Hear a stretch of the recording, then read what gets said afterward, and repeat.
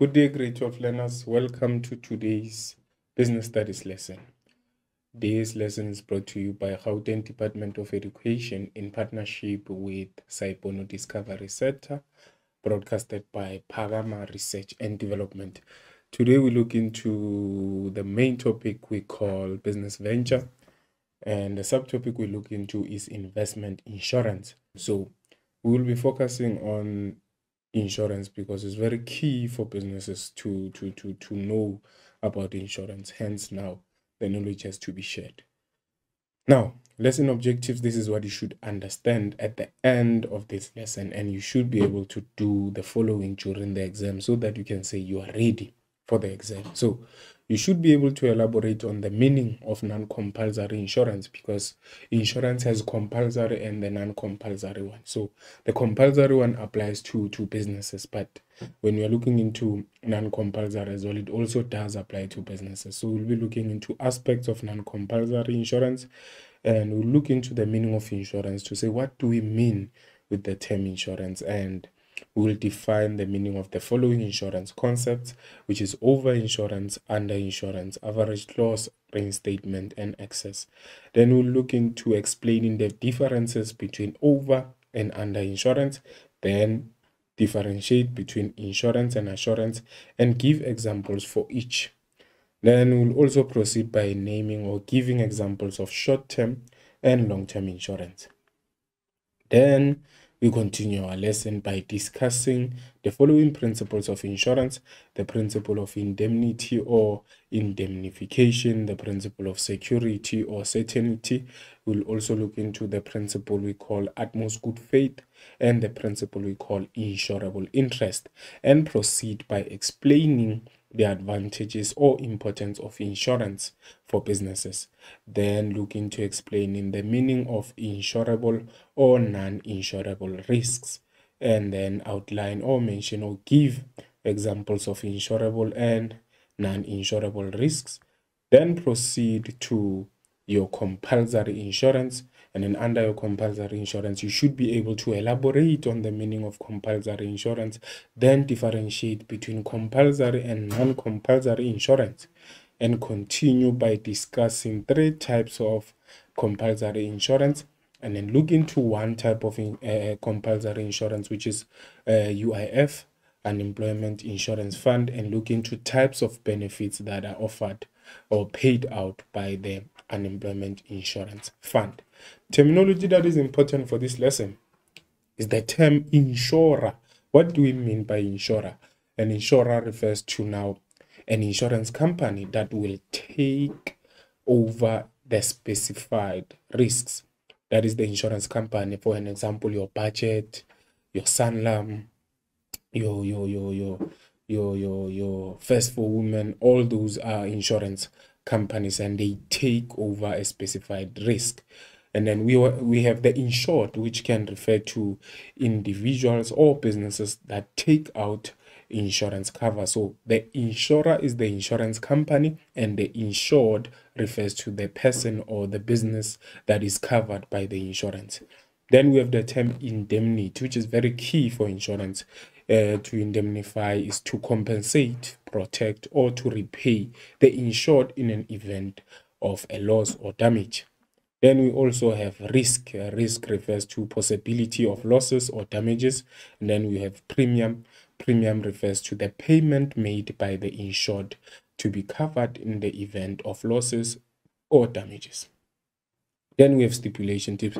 Stipulation refers to a condition or requirement that is specified or demanded as part of an agreement. So that is your terminology for insurance. And as we proceed with our terminology, we also explain what is to, to indemnify. We dealt with that risk and loss.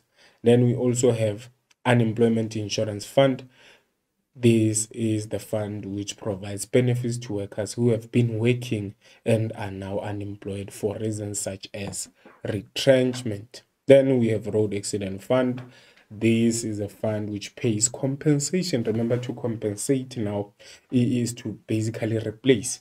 So these funds will compensate or it's a compensation when a person is disabled or injured in a road accident. And then it is focused on now again to the dependence of the individual who might be killed in a road accident. Then we have compensation for occupational injuries and disease. So basically from your unemployment insurance fund to road accident and compensation, we consider those three to be compulsory insurance. Now compensation for occupational injuries and disease act this one now focuses more on the business.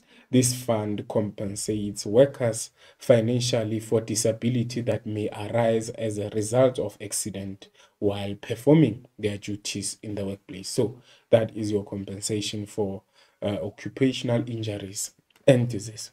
Now, let's look into the meaning of insurance. Insurance covers a possible event. That's very a possible event. So when we are saying a possible event, we are looking into the, the idea that it may or may not happen. So insurance will cover a possible event that may cause a specified loss, meaning you specify which losses you want to be covered for as the insured. And then the insurance company then would cover you for those specified losses. For example, when we are looking into uh, insurance of a car, a car owner would specify that can I be insured for theft? Can I be insured for hijacking? Can I be insured for a possible car accident? So those are events that can be covered by the insurance because those events can lead to loss or damage of the car. So that is your insurance. Again, it is an agreement whereby the insurer undertakes to indemnify the insured in an event of a specified loss or damage. Remember, the loss has to be specified. Is it theft? Is it hijacking? Is it a, a car accident? So those are your specified losses. Then the insured has to pay a premium for the specified losses or damages covered. So a premium basically is a way in which the insured would confirm to say, I'm being covered for the following specified losses. So the premium has to be paid on a monthly basis by the insured so that they get to be covered by the insurance company. Why? because now this is a contract between a person, business, or the insured requiring insurance cover and the insurance company insuring or the insurer bearing the financial risk. So, why is the insured paying the premium? To transfer the risk of the loss to the insurance company so that if any loss happens, then the insurance company would have to take the financial risk. So, if it happens now that the car is involved in a car accident, the damages to fix the car would be taken by the insurance company if there is an individual who's covered. Remember that large businesses have cars, large businesses have stock that they have to insure. So if maybe the stock in a warehouse catches fire, it has to be insured so that the business can be able to get another stock and they continue operating. So basically, an insurance is there to take the financial risk from the owner of the asset to itself so that they solve the matter if it happens. Then, remember that the insurance company now serves as a protection. As you see there, you have a face mask, which now was created uh, maybe due to, to, to COVID. And remember that when you were wearing a face mask during COVID,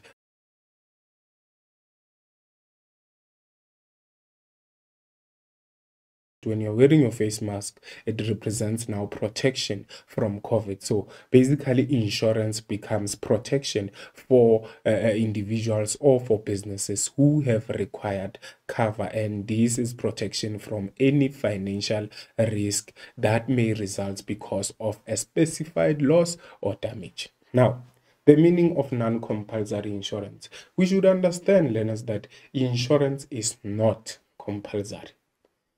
So when we are saying non-compulsory, we are specifying that businesses can take or can choose not to take the insurance. So that is your non-compulsory. Non-compulsory insurance is voluntary, meaning the business can choose not to take that insurance. So It means now the insured has a choice whether to enter into an insurance contract or not to enter. Then it is not required by law it is not required by law, but the advantage is that it can provide protection for businesses and individuals. So that is your non-compulsory insurance it is taken out in order to transfer the risk to the insurance company. So, what are we looking into when we are talking about non compulsory insurance? Non compulsory insurance is divided into two. It is insurance that can cover one short term insurance, such as fire, theft, uh, maybe uh, theft damages, hijacking, so burglary are considered to be short-term insurance. So basically, it is not compulsory for a business to make sure that they cover themselves against fire, they cover themselves against theft of stock. So it is not compulsory. It is not required by the law. Again, long-term insurance, it is now insurance that focuses on retirement or death. It is not compulsory for an individual to take such cover covers, it is not required by the law. That's what we mean when we are looking into non compulsory insurance and the sources of non compulsory insurance can be short term, which can be cover for fire or theft, or cover for retirement and that if we consider long term. Hoping we understand each other. Now, we look into insurance concepts. These are concepts that are used by insurance companies to calculate maybe how much one would be paid. And remember that during uh, the process of being insured, there are other aspects like the value or the market value of the asset to say if it happens now that the market value is lesser than the insurance amount, how can the insurance company deal with that? If it happens that maybe you have been insured for more than the actual market value, how can the insurance deal with that? So uh, I will be looking into ways in which a business would be able to know how the maybe insurance company can deal with such matters. So we have the term over insurance and under insurance. We should understand now these are concepts that specify a situation that an individual can face. So an individual, for instance, can be over insured or an individual can be under insured. So we'll explain to say when now an individual is over insured, how can the insurance company deal with that? And when the individual is under insured, how can an insurance company deal with that as well? And then we also have average loss and reinstatement now, which are, are ways in which or clauses that deal now with the different situations that I talked about, which is your over insurance and under insurance. So you should know that when a business is over insured, basically the, the, the, the, the insurance company would have to apply reinstatement and when a business is underinsured a business uh, the insurance company would have to use average loss. So we'll talk about that as we proceed. And then when it comes to the process of claiming for these two lines you would have to pay excess so that your claim can be uh, approved. So over insurance and under insurance are situations which can now have or cause problems. However, those problems are managed using the stipulations. The first one is average loss. Then we have reinstatement to deal with your over insurance. If a customer is over insured, how will the insurance company deal with that? Remember I said reinstatement. If a customer is under insured, how will the insurance company deal with that? They would use average loss. And this one would require a calculations. Calculations but our uh, reinstatement. Those are just laws to say if one is over insured we just reinstate them return them to the same financial position before the occurrence of the loss. But before all that can happen uh, the insured has to pay excess. So those are insurance concepts which help now to make it easy for the client and make it easy for the insurance company to be able to work together. Then Let's start with the first one or the first situation can be over insurance. What do we mean when we say someone is over insured? Over insurance is when the item is insured for more than the actual market value. That is over insurance. So, what do we mean by that? When we are talking about the market value, let me break it down. The market value refers to the price the price at which the asset can be sold for. That is the market value. So when we are saying over insurance is when the item is insured for more for more than the actual market value. So it means the item, the asset, let's say the asset is 200,000. So if the asset is 200,000, when we are talking about over insurance, we are saying the customer or the client now, the client has taken insurance for 300,000. So it meaning the car if we are to use a car, let's say the car at market value, meaning at the price at which it can be sold, the car can be sold for 200,000. But the client is paying insurance for 300,000, which now is not equivalent to the market value of that particular car. So we consider this situation whereby the client is paying more for the insurance of uh, the car, we consider that to be over insurance because the client was supposed to be paying 200,000 but the client is paying 300,000. So that is over insurance. Then the business will not receive a payout larger than the value of the loss at market value.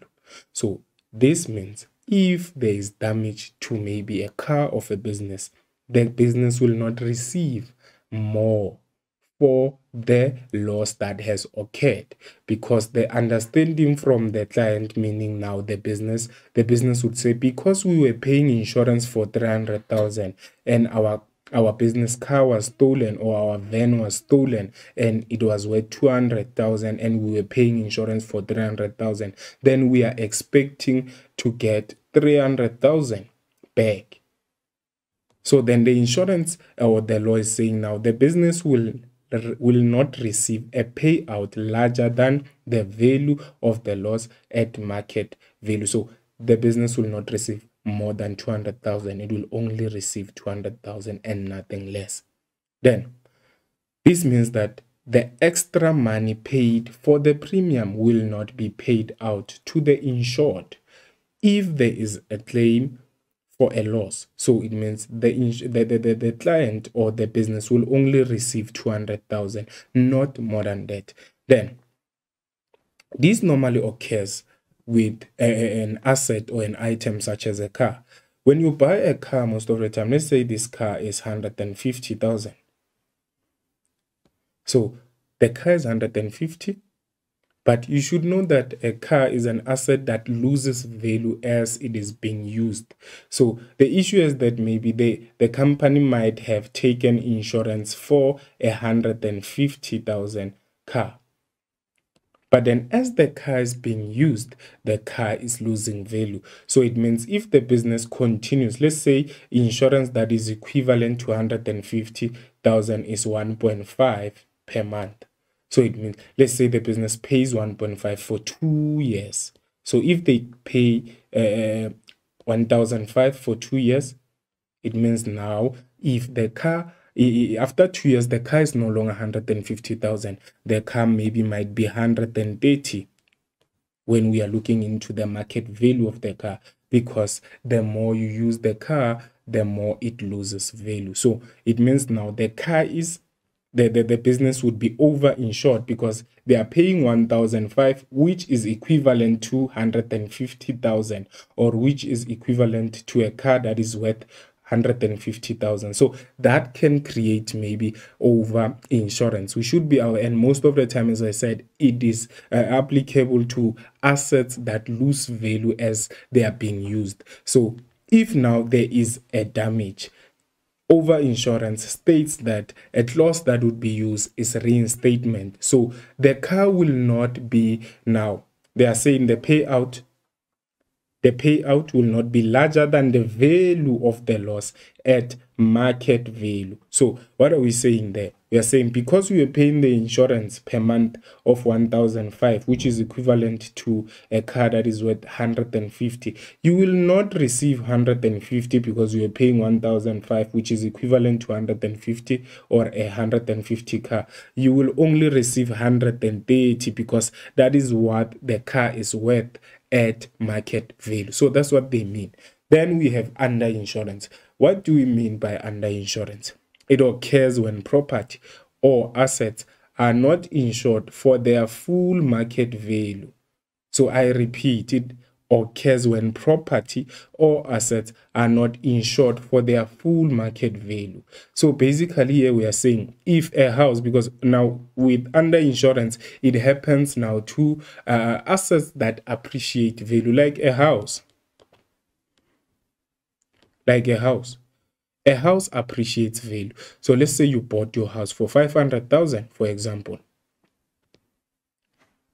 That is, I'll just leave it there and continue. Then the asset is insured for less than the its current value of the property or asset. So basically we are saying you will be taking insurance or that is lesser than the value of the asset at that time. So maybe you might be uh, paying insurance that is worth 400,000. But the logic is always the idea that when you take insurance for the first time, you, there's no way an insurance company can allow you to pay less. So what happens is that this house now would appreciate value. Let's say the value increases because when you say appreciate, we are saying the value will increase. So if the value increases, the value maybe would increase to 700,000 and let's say the initial amount of insurance you were paying was for a house that is worth 500,000 and you are still paying the same insurance amount which might be maybe for instance 450 so 450 is equivalent to a house that is worth 500,000 but the house now has appreciated value and then the house now is 700,000. So we are saying because you are paying 450, 450 is for a house that is worth 500,000. So it means you are underinsured because you are paying the insurance value of 450, the premium of 450, which is equivalent to your 500,000 house. But the value of the house now is 700,000. So it means the amount you are paying of insurance is less. So when we are to calculate, you are underinsured and you are underinsured by how much when you are checking here 450 is equivalent to 500, which makes now the insurance to be underinsured by 200 thousand. So that's what we mean. You are paying insurance that is lesser than the market value of the asset. So the asset is insured for less than its current value. Current value which is the price at which the asset can be sold for. Then, if the business is insured for an amount that is under the actual market value, remember market value, the amount at which the asset can be sold for. So if now the business is insured for an amount that is under the actual market value of the goods or services, the business will only be paid out for the amount that the goods or assets are insured for. So the insurance will have to calculate how much you are insured for and pay you for that amount. Now, the insurer usually applies average loss to calculate the amount of loss that must be compensated to the insured. So I said this most of the time applies to an, an asset such as property or a house because uh, property appreciates value or increases in value. So from 500,000 when you initially bought the car to now the house is 700,000. So if the premium has not changed, it means you are still covered for 500,000. So it means you are under insured. So it means the insurance amount is 500,000, but the value or the market value of the house is 700 uh, 700,000. So we can see 700,000 is the value, but the insurance amount is 500. The insurance amount is 500 So that means you are underinsured. The insurance amount should be seven hundred thousand, but the insurance amount is five hundred thousand instead. So we will look now into the difference between under and over insurance. Over insurance, property or assets are insured for more than their value. That is more because over more than their value. While under insurance, property or assets that are not insured for their full market value. So that is under. But with over, for example, if the asset with the A, A stands for asset, the asset maybe is 300,000 when you're over insured. If your insurance amount would be insurance A, IA means insurance amount would be 400,000. So this means you are over-insured because the asset at market value is 300,000, but the insurance amount you are paying is for 400,000. But when you are looking into under insurance, A, the asset is worth uh, 300,000 again. So when property or assets are not insured for their full market value, so the insurance amount IA, what is the IA there? Is 200 thousand. So now this tells you that you are underinsured because the asset is worth 300,000 but your insurance amount is 200,000. So you are underinsured. Then how will the insurance company deal with that? The insurer can choose to reinstate the insured, meaning when the insurer is choosing to reinstate, it means the insurance amount or the insurer will choose to say, we will not pay you 400,000 if there's any loss or damage that is worth uh, uh 300,000. We will only return you to your 300,000, reinstate you, return you to the same financial position before the occurrence of the loss. Then when we're looking into under insurance, the insurer will implement implement the average loss to determine the amount that will be uh, paid. So there the insurance company will have to calculate calculate how much you have to get in proportion to what you are covered for. Since you are covered for 200,000, we calculate to say what is uh, 200,000 of the damages that you have in comparison with uh, the asset held. Then over insurance businesses will not receive a payout larger than the value of the loss at market value. As i said you will not receive 400000 because the asset is 300000 but when we are looking into under insurance, businesses will only be paid out for the amount of the goods or asset that is insured for. So since you are insured for 200,000, the insurance company will only pay in proportion to what you are covered for, which is 200,000. Hence, we need to calculate how much would be 200,000 of the 300,000 to be covered. So that is your differences between over and under insurance. And what you can see here is that uh, the, the these uh, issues of over and under insurance they protect the insurance company because the idea here is uh, and no one or no individual or business should profit from an insurance company. Then we have average loss which we talked about to say how will you now calculate? So average loss is a stipulation set by the insurer.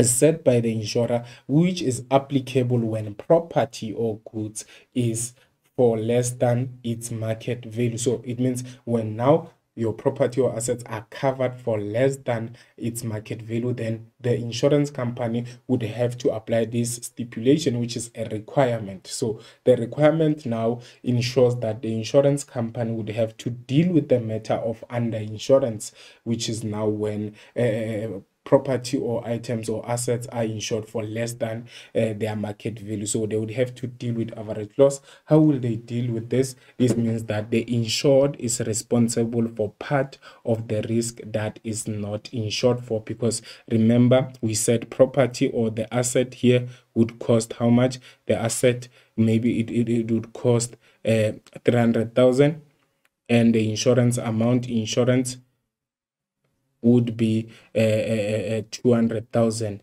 I return to the same example. So we'd have to calculate. And basically, they're saying if any damage occurs, the insurance uh, company will only cover damages for the amount insured for, which is 200,000. Furthermore, Note, the average loss applies when goods or assets are underinsured. You should know, as I said, average loss will only be applicable when goods or assets are underinsured. So basically, let us look now to the formula on how to calculate average loss. And we'll be having an example, an example now, which would help you maybe to, to, to be able to practice even for the exam. For example, we have Peter who owns a thatched house, which is valued at 1 million and he is insured or he has insured his house with pro cover insurance for 800,000 so already you see the value of the house value of the house is 1 million. But pro cover insurance has covered or Peter is paying 800,000 which is lesser than the value. So the insurance amount is 800,000 so a fire in the kitchen caused damage for 30,000. So since the damage is 30,000, we have to calculate to say how much would Peter be covered for. And the calculations would involve the insurance amount, which is 800,000 and the value, which is 1 million together with the damage. So this is the formula for your insurance, which says amount insured over the value of the insured item multiplied by amount of what damages or loss. So you should always know with this formula that the amount insured should be lesser than the value of the insured item multiply by damages. So immediately when you are calculating, you see that the amount insured is more than the value of the insured item. You know that you are going to get a wrong answer. So make sure that you calculate properly. So when we uh, now transfer that into the actual calculation, say amount insured, how much is the amount insured? The amount insured there is 800,000. So we would say 800,000 over value of the insured item. How much is the value? Now you go back to your scenario. This would be during the exam. It's important to underline when you're dealing with numbers so that you don't make mistakes. And then you'd say this is 1 million. And then you check again. Remember i said you should always make sure that the amount insured is lesser than the value of the insured item. So when you check there, how much is the amount insured? 800,000. How much is the value of the insured item is 1 million. So which one is bigger? The one that is bigger is the value of the uh, item. So that is good. So it means now your formula is correct. Multiply by now the amount of damages. The damages that occurred there, they amount to 30,000. Then you calculate to get how much would Peter be paid by the insurance company. So it means now we are calculating and the answer should not be over 30,000. That is another tip. Your answer should not be over 30,000 because remember Peter is underinsured. So it means Peter will not be covered at full market value because Peter was underinsured. So your amount of damages or the cover that the insurance should should uh, pay should not be over 30,000 or should not be 30,000. It should be anything less. If you have maybe punched your calculator wrong, but you should know that it should be anything less. So the answer there, you'd have to punch in your calculator to say 800,000 uh, divide by 1 million. 800,000 divided by 1 million multiply by the 30 thousand the answer should be 24,000. So how will you confirm that the 24,000 is correct? You check what are the damages? The damages are 30 and what is how much will the, the insurance company pay? 24000 and how do you confirm that 24000 can be correct is because now 24000 is lesser than the damages because peter was under insured so that is how they would determine the amount to be paid when a client or a business is under insured hoping you understood that one then we have reinstatement Reinstatement, it is a stipulation whereby the insurer may replace lost or damaged property or goods instead of reimbursing the insured. So basically, here we're talking about an over-insured business or an over-insured client. To say if someone is over-insured, the stipulation applicable, uh, applicable there is reinstatement which focuses on the idea that of replacing lost uh, property or lost uh, assets. So the stipulation is applicable when property or goods are over-insured. So we should know that reinstatement is there to deal with over-insured over-insured clients, while average loss is there to deal with under-insured clients. Then the reinstatement value will not be higher than the market value of the loss. So here they specify that the reinstatement value will not be higher. So when you are over insured, remember, I have to give you an example again or remind you to say when you are over insured, we are saying now, for example, you have a house, when you are having a house, when you are over insured or when you are having a, house, we are saying your house is 700,000, but you are paying insurance for an 800,000 house for an 800,000 house. So it means your insurance is for an 800,000 house, but your house at market value 700,000. So you are paying more. So the reinstatement value will not be higher than the market value of the loss. So the insured is returned almost to the same financial position as before the loss occurred. It doesn't matter that you were over-insured you will be returned to the same financial position before the occurrence of the loss. That's what they mean. So if your house, if your house is 700,000, you were over insured and you were paying what? 800,000. What they are saying is that if there is a damage to your house the entire house just say the entire house is damaged it means you have lost your 700,000 house so the insured is returned almost to the same financial position as before the loss occurred. So they're basically saying you will be returned to the same financial position. How much was your house? Your house at value was 700,000. So when they are reimbursing or when they are compensating you, the insurance company will only give you 700,000, which returns you to the same financial position. So this teaches you to say one day when you own a business or when you own an asset that is insured always check with the insurance company to say how much is the market value of your asset so that you are able to uh, pay the right amount that is equivalent to the asset that you are owning at market value so that you do not pay more or so that you don't pay less so that you don't find yourself over insured or under insured so that you avoid average loss which means you'll get less money when it comes to claiming and reinstatement, which means you were paying more money, but you will be compensated the amount that is equivalent to your market value. So that is basically what these uh, concepts teach you about insurance.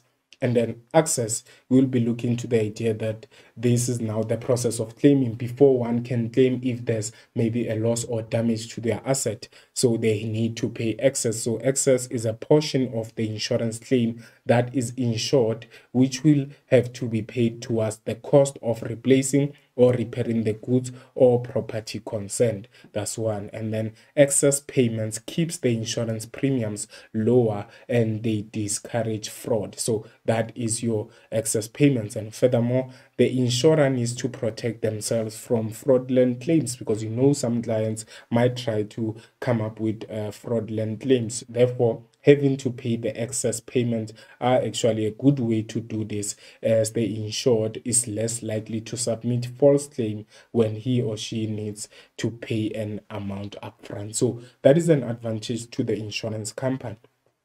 And then excess payments prevents the insured from claiming for minor damages that may happen to their asset. So the amount or size of excess is stipulated in the insurance policy and it is what basically uh, the insurer and the insured would agree to before the insurance cover can be accepted. And then an example of the excess payment, Sam's computer was insured for 6,000 with an excess payment of 500.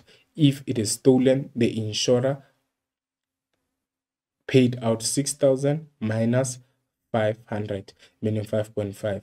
for Sam to get the new computer. So Sam would have to pay how much? 500. Hence we say now the insurance company would have to pay 5.5. So this now makes sure that there's no fraudulent claims and it ensures that Sam will not maybe lose uh, uh his computer unnecessarily because they know that they have to pay an excess payment. So that is what we mean with excess payment. So we are done with insurance concepts. What is key is to know that we have five insurance concepts over, under insurance, average loss, reinstatement, and excess. Then the difference now between insurance and assurance. What is the difference between the two? Insurance is based on the principle of indemnity, the principle of replacing, repaying someone who has lost uh, maybe their asset due to, to a specified loss or damage. But assurance is based on the principle of security or certainty. So this is now on the idea of securing the customer or the client for future to say if they get to retirement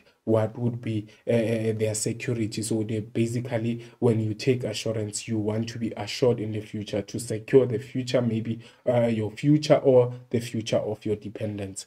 Then, insurance now, the insured transfers the cost of potential loss to the insurer at a premium and then when you're looking into the insurer the insurer undertakes to pay an agreed the insurer, meaning the company, undertakes to pay and agree. They agree to say will pay an agreed sum of money after a certain period has expired on the death of the insured person or whichever that occurs first. So that is assurance. As I said, it secures money for the future, either for the dependents of the one who has taken the, the, the, the assurance policy or for the dependents or for the the the, the actual uh, insured one who maybe might retire to say when they get to retirement they will be expecting an agreed upon sum of money. Then insurance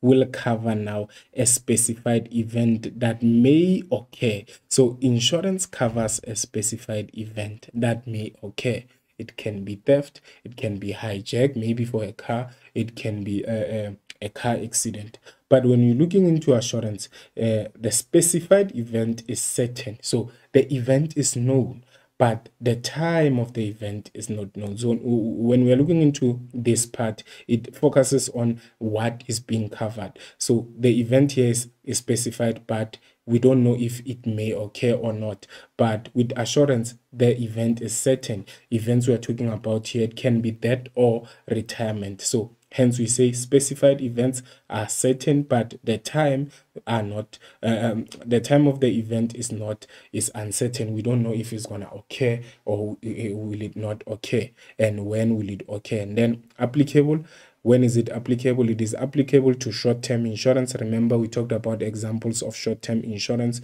to be your money in transit, theft, burglary, and fire. And then we also talked about long-term insurance, and the examples of that can be life insurance, endowment policies, or retirement annuities. And all those are now uh, uh, insurances that allow one to get an agreed upon uh, money or sum of money on a future date.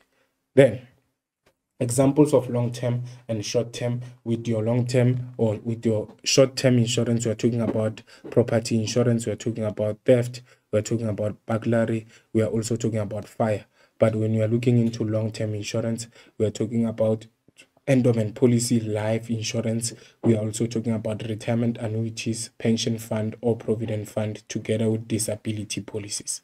Then principles of insurance. Now we talk about principles of insurance.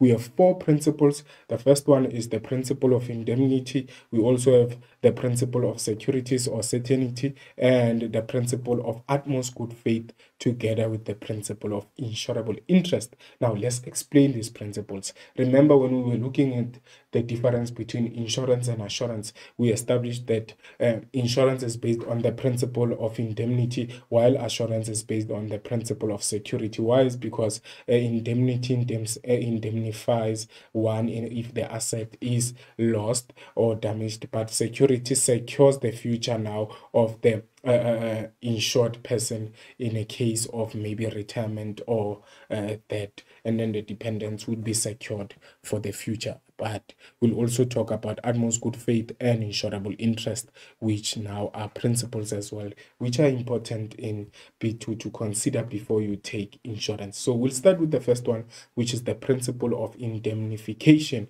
or indemnity now. Usually it is, it is applicable to short-term insurance as the insured is compensated for a specified or proven harm or loss. So that is your indemnification. It talks about compensating. What do we mean by compensating? We mean maybe to repay we mean to repay. So that is your compensation. So the indemnification focuses on short-term insurance, which can now your examples can be fire, it can be theft, so meaning now the short-term eh, eh, insurance examples are your fire and theft. So if it happens that fire and theft happens to a business, the insured will be compensated, meaning they'll be repaid maybe to replace the stock that might be lost due to theft or fire. So they would be paid to repay for a specified proven harm or loss. So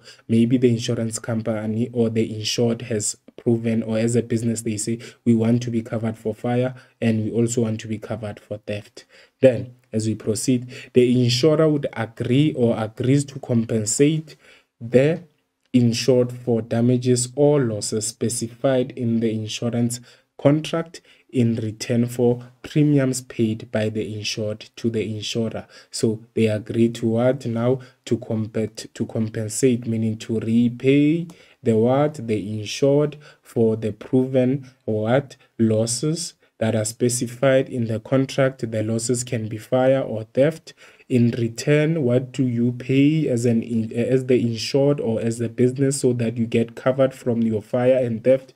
You need to pay a premium so that you transfer the risk to the insurance company and then it protects now the insured against the specified events that may occur remember fire and theft are those uh, specified events. So the insurance company would be receiving premium in a form of money so that they cover any uh, from a specified event like a car accident like fire and theft. So that is the principle of indemnity. It talks about the idea that the insured will be compensated or will be repaid in a case of any proven loss or specified loss if it occurs then security. What does that principle uh, uh, principle look into? The principle looks into now the idea of long-term insurance, meaning it is applicable to long-term insurance, whereby the insurer undertakes to pay out an agreed upon amount in an event of loss of life. So the first aspect we should know that uh, long-term insurance covers um, someone's life, which can be an event that may occur, there can be that, or it looks into retirement. Retirement. And then a predetermined amount would be what paid out. So what do we mean when we say predetermined amount? So we are saying if you take insurance today, you would be saying, I'm taking life cover or life insurance for 1 million. Did you die today? No, you didn't die today. So what we are basically saying is a predetermined amount will be paid out when the insured reaches a predetermined age. So that now talks to what re, re, eh, re, retirement. So retirement would say now, today maybe you might be 30 so you are basically saying when you are 65, you want to receive 1 million. Hence, we say a predetermined. When was it determined? The amount was determined when you were 1 million. Uh, when you were 30, to say now, when you are 65, you will get 1 million. Sorry for that. So, because you can't be 1 million. So, the amount was determined. Hence, we are previously determined when you were 30 to say when you are 65, you will be paid out by the insured uh, when you reach a predetermined age, which might be 65. So that's what we mean. And then the aim is to provide financial security. So this 1 million now would provide financial security to the insured at retirement or the dependents of the deceased. So it means now your kids, if it happens that you pass away, would use the 1 million so that they are secured and they are able now to provide for their needs and wants. So it provides protection now. If it happens that the dad or the mom passes away, the kids would be secured. They would be able to pay maybe for the services of the house and they would also be able to buy food for themselves. So hence we say it provides financial security. Hence it is predetermined and hence it is a large amount of money. Then we have the principle of utmost good faith. The principle of utmost good faith it focuses on being honest. Is the principle that focuses on being honest when you're entering into an insurance contract. So the insured has to be honest in supplying details when entering in an insurance what? Contract now. That's what this focuses on. So the insured has to be honest. So basically, this would occur maybe when you are entering into an insurance contract. Let's say maybe you recently bought a car and you have to specify where you are staying because where you are staying determines the risk of losing the car and also where you you, you park uh, also determines how safe is the car and how much risk is associated with that particular car. So when they're saying the insured has to be honest in supplying details when entering in an insurance contract. This now helps the, the, the insurance company to calculate the risk associated with your asset. So the insurance company would ask you, where do you park your car at night, for instance? Where do you park your car at night? They would also ask you, where do you park your car uh, uh, during the day? During the day. So they would ask if uh, is there any locked is it parked in a locked garage, maybe? And then they would ask if your workplace does it have maybe security access?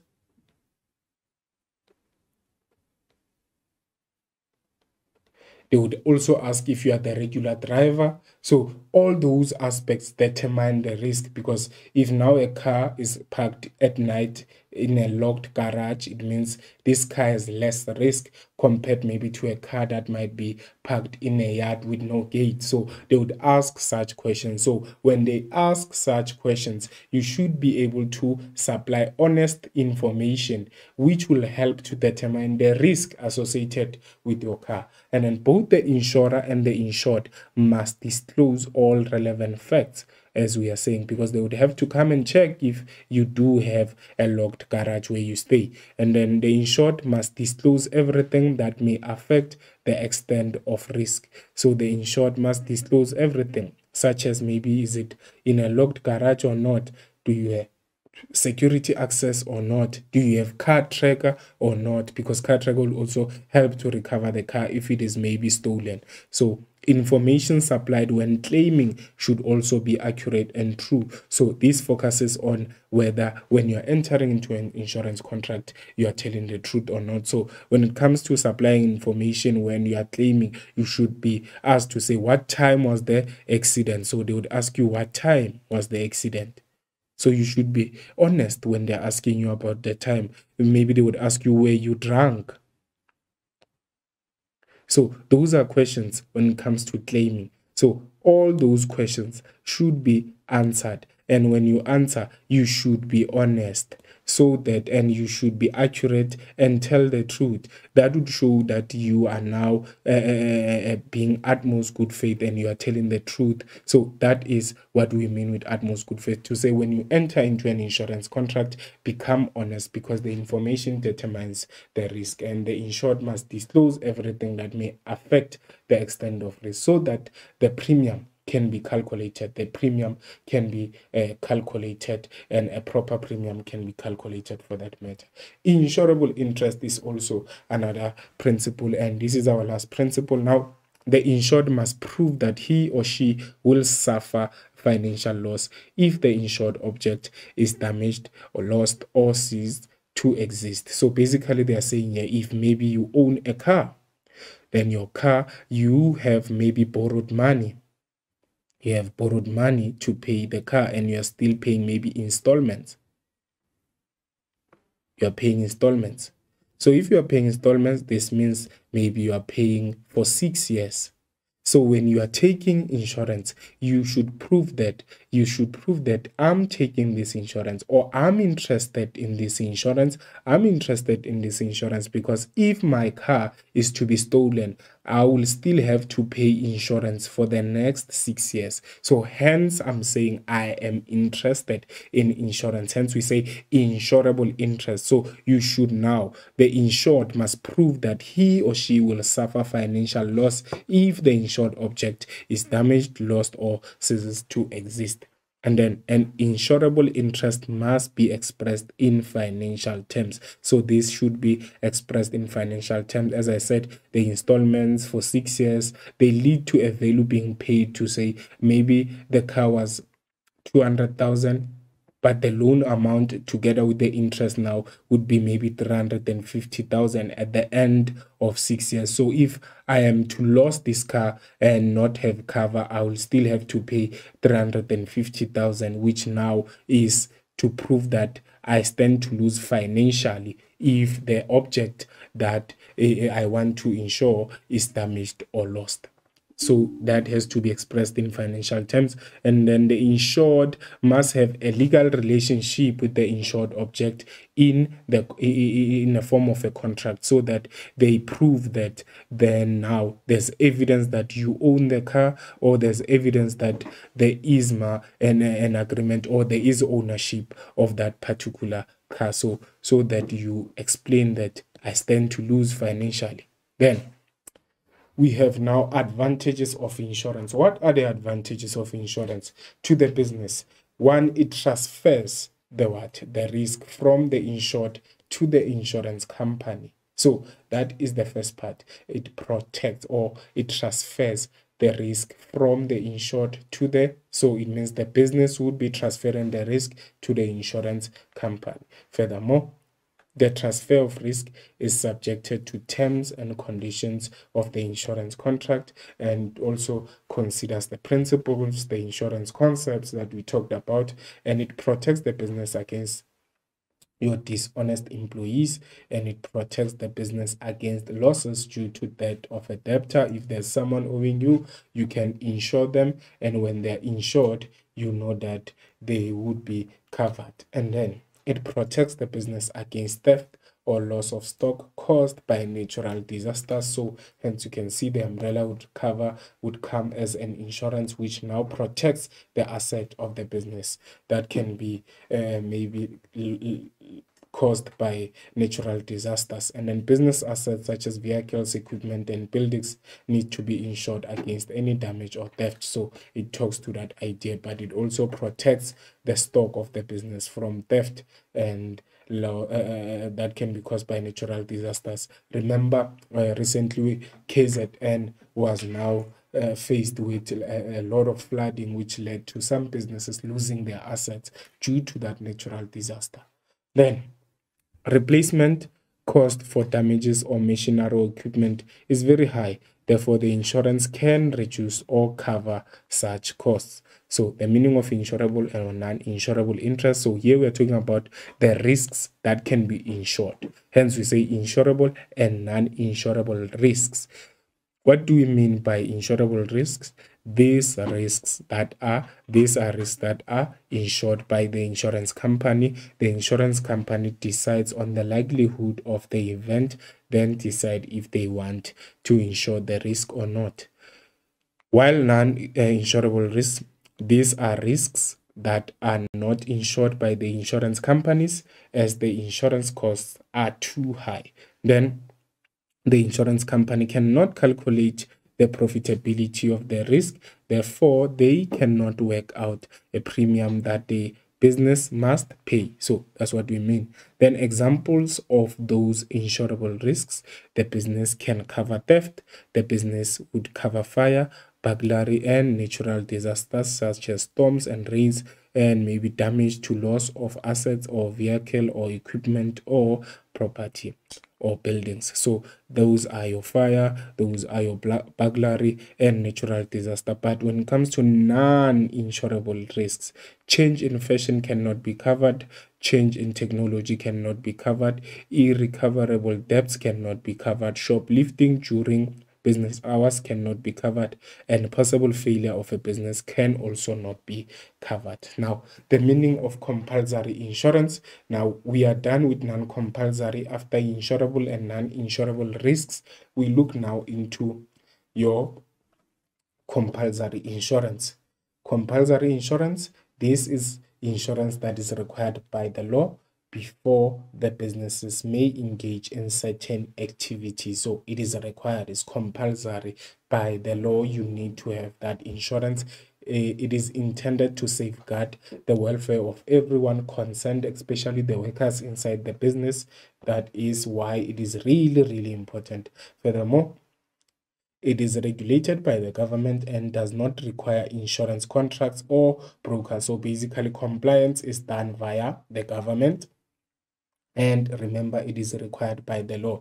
Differences now between compulsory and non-compulsory insurance is that compulsory insurance is required by the law and there are legal obligations for it to be taken out and paid for while non-compulsory is voluntary and the insured has a choice whether to enter into an insurance contract or not and it is regulated by the government and does not require insurance contract. So it means it is done or the compliance is done via the government. While when you're looking into non-compulsory which now can apply to individuals to say the insured will enter into a legal uh, contract with the insurer who may be represented by the insurance broker. Then, when you're looking into ways of paying these two, compulsory payment in a form of levies or contributions are paid into a common fund which benefits um, from which benefits may be claimed under certain conditions.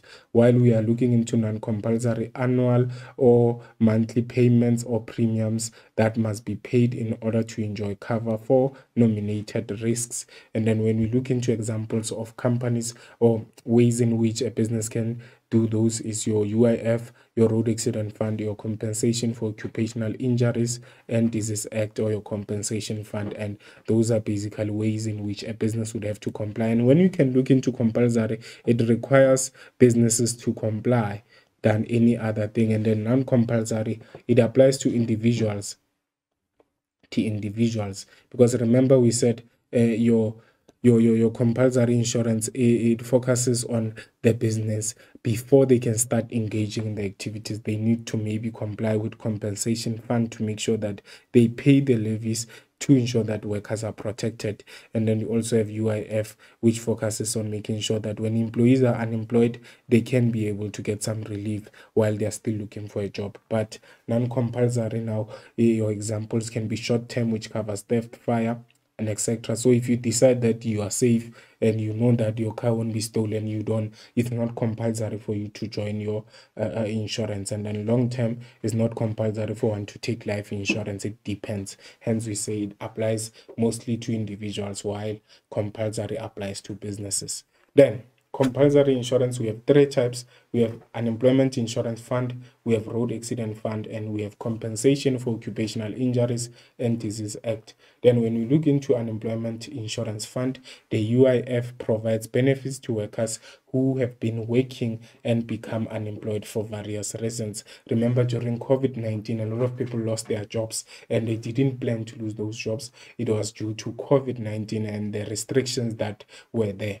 Then Employees contribute 1% of their basic wage to the UIF, while as well the business contributes 1% of their basic wage towards the fund, which is you IF Unemployment Insurance Fund, all employees who work at least 24 hours per month are required to register for your Unemployment Insurance Fund and contribute towards the fund. And then businesses are required to register their employees with the fund and to pay contributions to the fund. So that is your Unemployment Insurance Fund. So it is applicable to people who are looking for jobs. And then with unemployment insurance fund there are benefits. So types of unemployment insurance benefits include your unemployment benefit. When you are unemployed you can claim. When you are ill you can claim. When you are pregnant you can claim when you are during maternity leave. You can also claim when you are uh, trying to do adoption and claim when you have dependence benefit which applies to now uh, uh, uh, uh the kids of someone who has passed away. Then We'll look into the first one unemployment benefits. Employees who become unemployed or retrenched due to restructuring and uh, uh, or maybe their contract has expired may claim within six months after becoming unemployed and no tax is payable on their benefits which we call unemployment benefit so these are the conditions at which one can claim from the fund However, they can also claim when they are ill, ill benefits when they are sick, and when they have disability. Employees may receive these benefits if they are unable to work for more than 14 days without receiving a salary or part of their salary. So, employees may not claim these benefits if they refuse medical treatment, though. So, that is the requirement for one to get uh, illness benefits. But then, when you look into maternity, maternity pregnant employees receive these benefits for up to four consecutive months and then if an employee had a miscarriage she can claim for up to six weeks or 42 days. And then when we are looking into adoption employees may receive these benefits if they adopt a child younger than two years and then another one. Employees who take unpaid leave may claim for UIF while caring for the child at home. So that is adoption because one the process of adopting now one has to make sure that the child is familiar with him or her. So hence now they will not be able to go to work. So in the process of all that they can claim from the unemployment insurance fund benefit and then dependents benefit dependents may apply for these benefits if the breadwinner who has contributed to the UIF dies. So that is your dependents, and the dependents of the deceased may claim whether they are employed or not. Then we also have temporary employer or employee relief scheme. This was developed due to COVID-19. So all employers or employees who are registered with the Department of Employment and Labor can apply for this relief. Remember, some businesses were operate were not operating during COVID-19, meaning they were not able to make profit and pay workers. So they had to apply for temporary employer or employee relief scheme. The scheme applies to employers who cannot pay their workers or employees who will not be getting paid during the period of the lockdown. So this was for the lockdown and this also applies to employees who have been forced to take leaves as a result of coronavirus outbreaks. Then we look into Road Accident Fund. They will be focusing on explanations of the Road Accident Fund or the Road Benefit Scheme. The Road Accident Fund or the Road Accident Benefit Scheme ensures road users against negligence of other road users, which leads now to accidents. And then the Road Accident Fund is funded by the levy on the sale of petrol or diesel. So we are basically saying there whenever someone is buying petrol uh, there's a levy or there's a, a, a, contribution that goes to road accident fund and the next of kin of workers or breadwinners who are injured or killed in a road accident uh, uh, can or may claim directly from the road accident fund or road accident benefit scheme.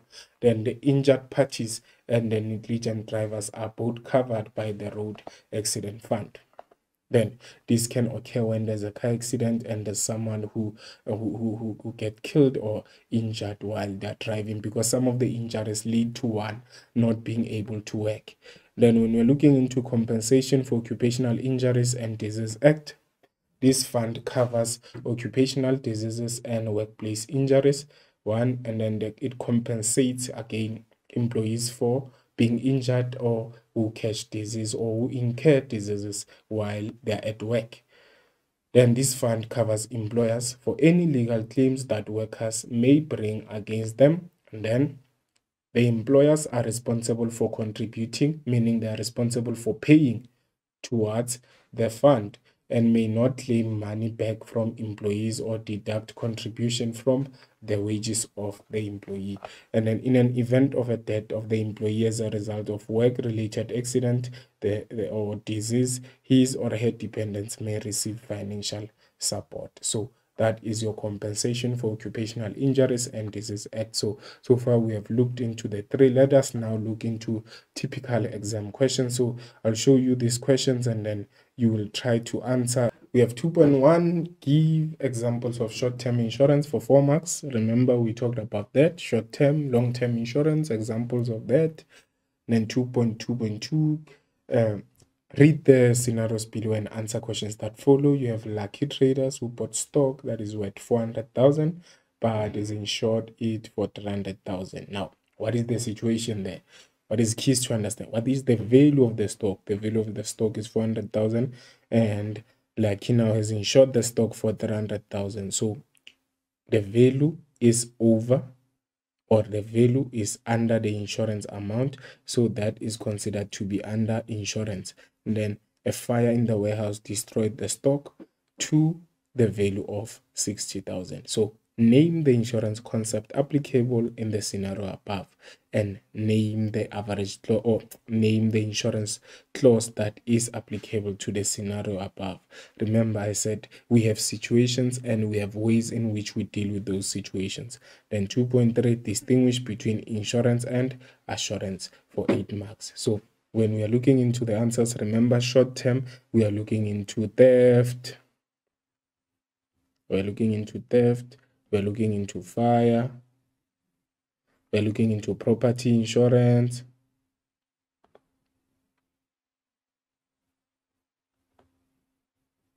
Property insurance.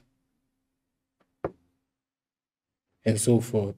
But then when you're looking into this one, according to my thinking, the answer here should be under insurance. Under insurance. Why under insurance? Because the insured amount is 300,000 but the value of the stock is 400 meaning there is under insurance there that occurs then which insurance clause is to be applicable there? The insurance clause should be average clause. And then distinguish between the two insurance is based on the principle. The first part is to think about the principles applicable there the principles. The first one is the principle of uh, indemnity. The other one is the principle of security. The other one covers a event that may occur, a specified event that may occur. The other one, the event is certain. The event is certain. But the time is uncertain. So that is your secure part. When you are looking now into the solutions to prove all that, property insurance, one, theft, fire, and burglary are your examples of short-term insurance and you get 0, 4. Then name the insurance concepts applicable there under insurance as i said how much was the value of stock? The value of stock was 400000 but the insurance amount was 300000 so you see that that is under insurance. It is under 400000 then we have 2.2.2 name the insurance clause that is applicable there. What is the insurance clause? Average clause two marks for that. Then two marks for that. And then maybe in an exam they can ask you to to calculate now the average clause. You should know that the formula is amount insured over value of the item insured multiplied by the damages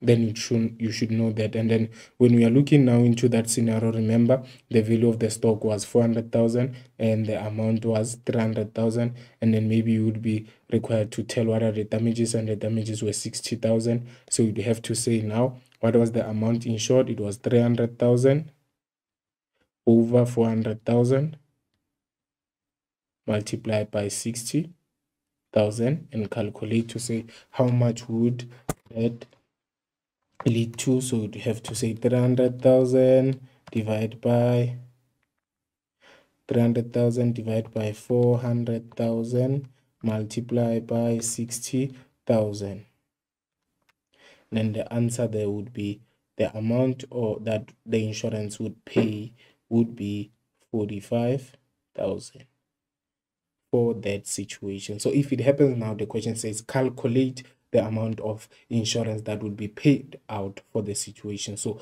always remember the market value or the value of the item should be under the insurance amount and the item uh, value should be more than the amount insured multiplied by the damage and then you'd get the proper answer and remember again your answer should always be under the amount of damages. Then as we proceed, distinguish between insurance and assurance. Insurance is based on the principle of indemnity, while assurance is based on the principle of security or certainty.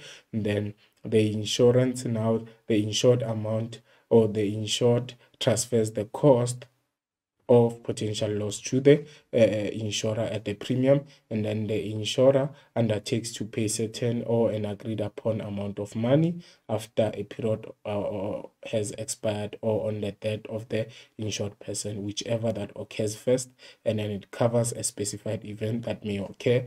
However here the specified event is certain but the time of the event is uncertain. So that is how you get your eight out of 8 and then if they say specify again your applica is applicable to short term while the other one to long term. Just be aware that these short responses sometimes can give you one mark instead of two. So just be aware of that and try to add more points. And then examples as well they would be counting there and then you would get 8 out of 8 and then another typical now uh, typical uh, uh, question we have is to read the scenario below and answer questions that follow. We have total properties. Total properties is insured uh, or total properties has insured uh, uh, against fire and theft. And Karabo, the owner, signed an insurance contract with T DG Insurance and Karabo was informed that she will be compensated only if her property gets damaged by fire and theft. And then Karabo disclosed everything that may affect the extent of risk. So you are required now 2.4.1 identify two principles of insurance that are applicable to the scenario above and motivate your answer by quoting from the scenario. So we go back. Karabo, the owner signed a what? An insurance contract with TGD. There's no answer there. There's no answer there. It just tells you what Karabo did. But the answer now starts here. Karabo informed was informed that she will only be compensated when property gets damaged by fire and theft. So you should know that what is fire and theft? These are the examples of short term, short term insurance and then Karabo disclosed everything that may affect the extent of risk. Now, this talks to the which principle now? This principle, the principle of the idea that Karabo was honest here, it talks to a principle. So identify the two principles. So I'm helping you to be able to identify, to say Karabo disclosed everything, meaning Karabo is honest. So two principles there that are applicable and then explain other two principles. So the principles applicable there becomes the principle of indemnity why? Because Karabo will only be compensated for fire and theft, which falls under short-term insurance. So since they fall under short term, then they are categorized as now what indemnity, because remember indemnity says it is applicable to short term insurance. So just keep that in mind, be aware of such. And then utmost good faith, Karabo disclosed everything, which means Karabo is honest when entering into an insurance contract. So that's one and two marks for that. Then you get six. Then other types principle of insurance six marks two marks for just saying principle of security and explaining would just give you one mark and then we proceed then this is considered to be maximum then insurable interest two marks and then specifying what it is would give you one mark and then this would this is how you would be marked during section during section B. And this is max. Then we look into another assessment typical exam question. Read the scenario or statements below and answer questions that follow. Johannesburg traders took insurance against theft damage, fire, and burglary due to high criminal activities and strikes in the surrounding areas. 2.5.1 Quote three examples of insurable risk from the scenario above and explain the meaning of non-insurable risk. Discuss the importance of insurance when you are looking into it. Which aspects now are the examples? The theft, damage, fire, and what? Burglary. Those are your examples and then explain the meaning of non-insurable interest. When we look into insurable risks as theft, as damage, fire, and burglary. But then damage cannot be considered. So you see, damage is used to make you confused. The only three that are applicable is theft, fire, and burglary. And then what is the meaning? The risks that are not insured for by the insurance company are considered to be non-insurable because these in, uh, uh, costs are too high for the insurance to cover. And then the insurance company cannot now the insurance company cannot calculate the profitability of the risk and therefore they cannot work out the premium to be paid by the business. Then the importance of insurance, it transfers the risk from the insured to the insurance company. Then another one, it transfer the risk of the, uh, uh, the, the, the transfer of risk is subjected to terms and conditions of the insurance contract two marks for that. It protects the business against dishonest employees and then it protects the business against losses due to debt of a debtor Then it protects the business against theft or loss of stock caused by natural disasters. And that is eight already. So that is how you get your eight. And then we have another typical exam question. Identify the types of insurance applicable to each statement below. Tladi will receive compensation for losing her job due to restructuring of the company and Levy will be compensated for serious injuries he sustained in a taxi accident on his way to work to discuss three types of benefits covered by the unemployment insurance fund for nine marks. So what are the solutions there when you're looking into the issue of Tladi? Tladi losing her job, meaning now due to restructuring, meaning Tladi is unemployed. So the compulsory insurance there that would be applicable is your unemployment insurance fund, two marks. Then when Levy got now in a car accident, that is considered to be compensation for occupational injuries and disease act. So that is how you get your four marks. Then the benefits now, we have unemployment, two marks for that and one mark for when you explain, then this is considered to be max because sub max would be three for each then two marks there and one mark for the explanation which is your illness max there because you already received three then you also have maternity two marks one mark for the proper response or explanation then you have your max. Then then you get your three so that is how you'd get your nine. That is how we mark during the section b. Then that's how you get your nine. And then summary of our lesson we looked into elaborating on the meaning of non-compulsory insurance explaining the meaning of insurance explaining the differences between over and under insurance then differentiating between insurance and assurance and naming or giving examples of short-term and long-term insurance.